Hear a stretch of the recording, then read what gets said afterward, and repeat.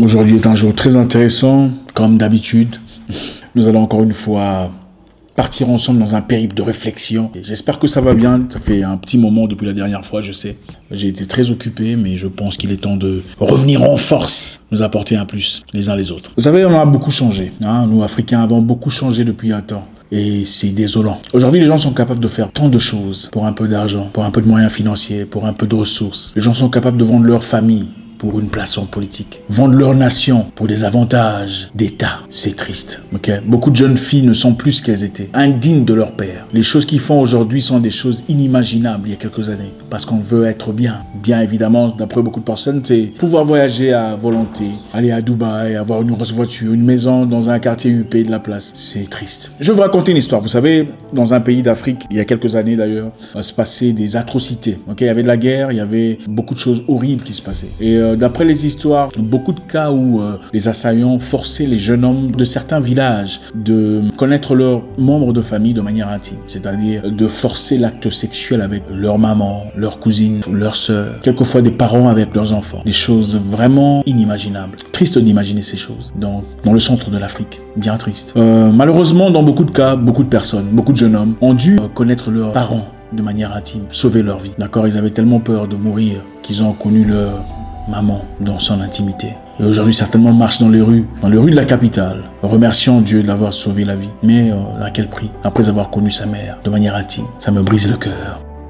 Ça me brise le cœur de voir. Vous savez, il y a des raisons pour lesquelles tout ne vaut rien. Il y a, dans certains cas, on préfère tout perdre que, que de gagner quoi que ce soit. Des cas rares dans lesquels on vaut mieux mourir de faim que de perdre sa dignité. Beaucoup de personnes aujourd'hui sont motivées par l'argent, par les gains, les ressources financières. Beaucoup de personnes ont trahi l'essence même de l'Africain. Beaucoup de politiciens ont trahi leurs frères pour avoir quelques avantages, pour avoir un jeep, pour acheter du champagne à son gré. Beaucoup de personnes ont trahi leurs ancêtres pour simplement avoir un peu d'argent et ça me brise le cœur. Beaucoup de dames aujourd'hui ont des promotions, avancent dans leur vie, boulot, dans leurs organisations, après avoir commis quoi comme acte? Peu importe ce que vous avez comme argent, peu importe ce que vous avez comme réussite, si la promotion canapé a été le moyen par lequel vous y êtes arrivé, vous n'avez rien à nous inspirer. Nous avons besoin de regagner cette dignité, cette gloire, l'honneur que nous avions autrefois. Il y a des choses pour lesquelles il vaut mieux tout perdre, mais seulement garder sa dignité, son honneur. Vous allez me tuer 77 fois avec des balles ou des machettes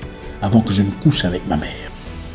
Et même s'il faut que Dieu me dise, bon, jeune homme, je te chasse du paradis, tu vas aller mourir en enfer, je préférerais toujours ne ou là où vous êtes dans la vie aujourd'hui, est-ce digne de votre Père? Et tout le monde vous respecte, mais est-ce digne de votre Père? Quelquefois, il vaut mieux tout perdre et simplement garder sa dignité. Il y a des cas où il faut tout sacrifier et simplement garder son honneur. Il faut savoir choisir dans la vie. Il y a des choses qui valent plus que l'argent, plus que la vie. L'objectif de la vie n'est pas d'accumuler un maximum de biens. L'objectif de la vie, c'est de vivre en accord avec ses valeurs. Ne trahissez pas l'honneur que vous devez à votre père. Les gens sont prêts à soutenir des dictateurs aguerris, des politiques atroces, des meurtres et des tueries, seulement pour avoir un bol de riz. C'est honteux. Vous faites la sourde oreille à la douleur de vos frères. Vous faites semblant de ne pas voir le malheur de vos voisins. Vous avez oublié vos propres martyrs pour quelques avantages. C'est honteux. Vous êtes peut-être pressé, angoissé, euh, déséquilibré par une situation où vous sentez qu'on vous prend votre honneur. Il est peut-être temps de prendre la bonne décision pour vous. Hein, quelquefois, il vaut mieux mourir debout que de vivre couché pendant très longtemps.